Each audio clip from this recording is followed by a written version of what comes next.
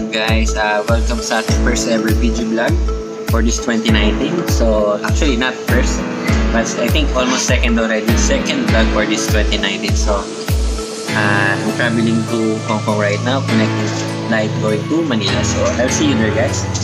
Please watch this video.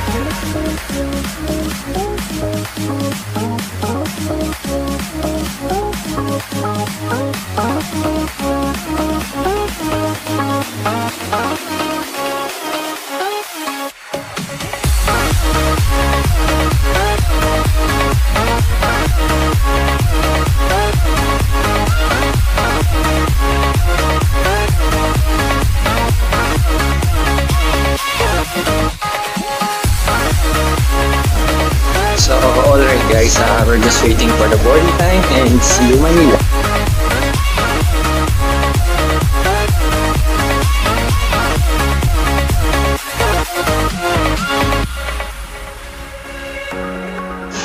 Alright guys, gutom is real. So, bumili na ako ng KFC.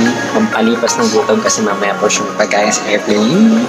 So, yan lang naman. Binili natin ng KFC singer. So, around 30 dirham. So, if you will convert into peso, around, I think, 400 na yun. So, just leave.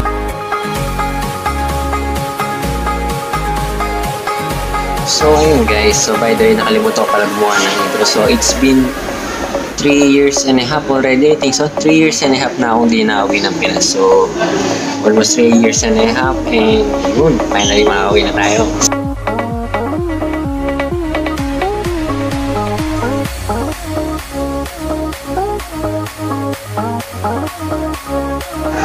Guys, we're going to the boarding.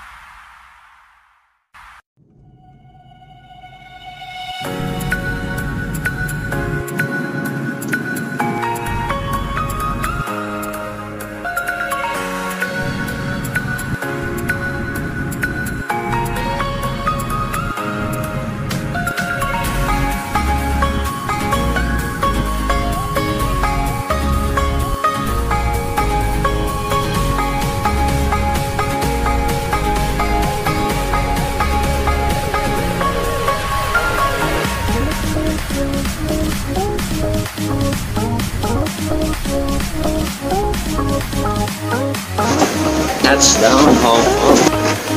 Alright guys, we're